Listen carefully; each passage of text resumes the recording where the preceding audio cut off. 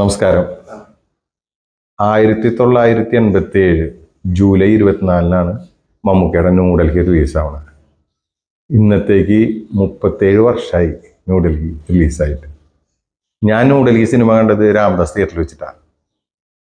അപ്പോൾ രാവിലെ ഒരു ഒൻപതരാമത്തിനും തിയേറ്ററിൽ ഞാൻ എത്തി. വേറെ ഒന്നുമല്ല റിസർവേഷൻ ചെയ്യാനാണ് ഞാൻ പോയത് രാമദാസ് തിയേറ്ററിലേക്ക് ഞാൻ ചെല്ലുമ്പോഴത്തേനോട് നീണ്ട ക്യൂ ഉണ്ട്. അങ്ങനെ റിസർവേഷൻ വരിയിൽ ഞാൻ നിന്നു. അങ്ങനെ എന്റെ ബാക്കിലൊരു ചേട്ടൻ ഉണ്ടായിരുന്നു ആ ചേട്ടൻ എന്നെ വിളിച്ച് ചോദിച്ചു എത്ര ടിക്കറ്റ് റിസർവ് ചെയ്യേണ്ടി ഞാൻ എനിക്കൊരു ടിക്കറ്റ് റിസർവ് ചെയ്യണ്ട. അപ്പോൾ ആൾ എനിക്കൊരു മൂന്ന് ടിക്കറ്റിന്റെ പൈസ ആൾ തന്നു. എന്നിട്ട് പറഞ്ഞു ഇതും കൂടി ചേർത്ത് റിസർവ് ചെയ്യാൻ പറഞ്ഞു എന്നോട്. അങ്ങനെ എന്റെ ഒരു ടിക്കറ്റ് ആളെ മൂന്ന് ടിക്കറ്റ് അടക്കം ഞാൻ റിസർവ് ചെയ്തു. അന്ന് റിസർവേഷൻ അങ്ങനെ ബാൽക്കണിക്ക് മാത്രമേ ഉള്ളൂ.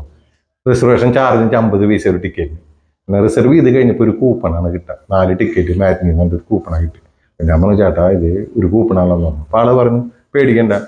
എന്ന് പറഞ്ഞിട്ട് എന്റെ ടിക്കറ്റിന്റെ പൈസ തന്നു. എന്നിട്ട് പറഞ്ഞു നീ ഒരു രണ്ട് മണിയാകുമ്പോൾ രാംദാസ് തിയേറ്ററിന്റെ ഫ്രണ്ടിൽ അന്ന് ഗൂഗിൾ എന്നൊരു റെസ്റ്റോറന്റ് അതിന്റെ ഫ്രണ്ടിൽ വന്നാൽ മതി. നമുക്ക് അവിടെ കാണാം. അവിടെ നിന്ന് ടിക്കറ്റ് മാറാൻ പോവാം. അങ്ങനെ ആളെ വിശ്വസിച്ച് ആ കാശും മേടിച്ച് ഞാൻ വീട്ടിലേക്ക് പോകുന്നു തിരിച്ച് വടൂക്കിൽ നിന്ന് ഞാൻ പടം കാണാൻ ബസ്സിലൊക്കെ കയറി ടൗണിലെത്തുമ്പോൾ നേരം വൈകി. രണ്ടരയായി. ഈ ഗോകുലോറിന്റെ ഫ്രണ്ടിൽ നോക്കുമ്പോൾ ആളെ കാണാനില്ല അങ്ങനെ നേരെ ഞാൻ തിയേറ്ററിലേക്ക് കയറി ഭയങ്കര തിരക്കാണ് അങ്ങനെ തിയേറ്ററിന് മൂക്കിൽ മൂലയിലൊക്കെ നോക്കിയപ്പോൾ ഉണ്ട്. ഒരു മൂലയിൽ നിന്നിട്ട് ഇയാളുടെ ടിക്കറ്റ് വിൽക്കേ അപ്പൊക്കെ മനസ്സിലായി അയാൾ ബ്ലാക്ക് അടി ആളാന്ന് വെച്ച് കഴിഞ്ഞാൽ ടിക്കറ്റ് കൂടുതൽ പൈസ വിൽക്കണ പരിപാടിയാണ് ബ്ലാക്ക് അടി എന്ന് പറയാറ് ഞാൻ ചെന്ന് ആളെ വിളിച്ചപ്പോൾ ആൾ പറഞ്ഞു നിന്നെ എത്ര നേരം കാത്തു? നീ വരാണ്ടായപ്പോൾ ഞാൻ രണ്ട് തവണ ക്യൂ നിന്നിട്ടാണ് ഞാൻ ടിക്കറ്റ് മാറിയത്. ഞാൻ പറഞ്ഞു എനിക്ക് എന്റെ ടിക്കറ്റ് തരാൻ ചേട്ടാ എന്ന് പറഞ്ഞു പറഞ്ഞു. ഫസ്റ്റ് ഷോയ്ക്ക് കണ്ടാൽ മതി എന്ന് ചോദിച്ചു. നമ്മൾ എനിക്ക് പറ്റില്ല എനിക്ക് മാറ്റിന് തന്നെ കാണണം എന്നിട്ട് ആൾ എനിക്ക് ടിക്കറ്റ് തന്നു. ആ സാധാ റേറ്റ് തന്നെ മേടിച്ചോളൂ അങ്ങനെയാണ് ഞാൻ രാമദാസ് തിയേറ്ററിൽ ന്യൂഡൽഹി എന്നൊരു സിനിമ കാണുമ്പോൾ കണ്ടു. ഗംഭീര സിനിമ. അത് ഞാൻ പറയേണ്ട ആവശ്യമില്ലല്ലോ. പക്ഷെ അന്നത്തെ കാലത്ത് ആൾക്കാർ കൈയടിച്ച് സത്യം പറഞ്ഞ ഞെട്ടിയിട്ടാണ് ഓഡിയൻസ് ഒക്കെ ഇറങ്ങിയിട്ടുള്ളത്.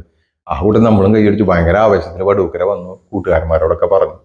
അന്ന് എനിക്ക് രണ്ട് കൂട്ടുകാരന്മാരാണ്. കൂട്ടുകാരന്മാരെന്ന് പറയാമെന്ന് വെച്ചാൽ എന്നേക്കാളും പ്രായം ചെന്നവരായിരുന്നു ഇവർ ഒരാളെ പേര് ലുക്കുമാനും ഒരാളെ പേര് എന്നാണ്.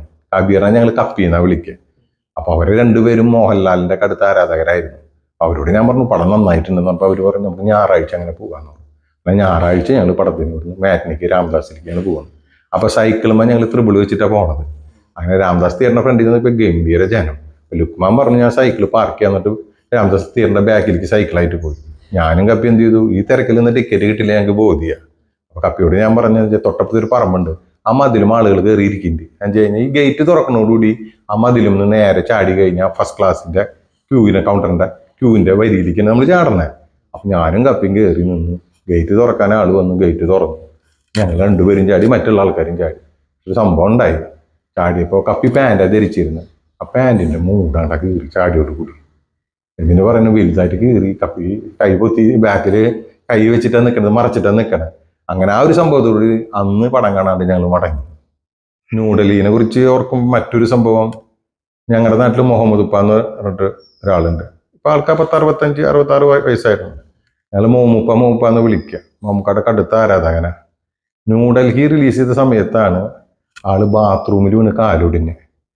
കാലൊടിഞ്ഞ്. അപ്പോൾ മോമുക്കാടെ കട്ട ആരാധകനാണ് ആൾ. അപ്പൊ അതിനുശേഷം അദ്ദേഹത്തിന് നാട്ടിലൊരു പേര് വീണു ജി കെ ന്യൂഡൽഹിയിൽ ജി കൃഷ്ണമൂർത്തി എന്നല്ലേ മോമുക്കാടെ ക്യാരക്ടറുടെ പേര്. അതിൽ മോമുക്കാടെ കാൽ തല്ലി ഒടിക്കുന്നൊക്കെ ഉണ്ടല്ലോ.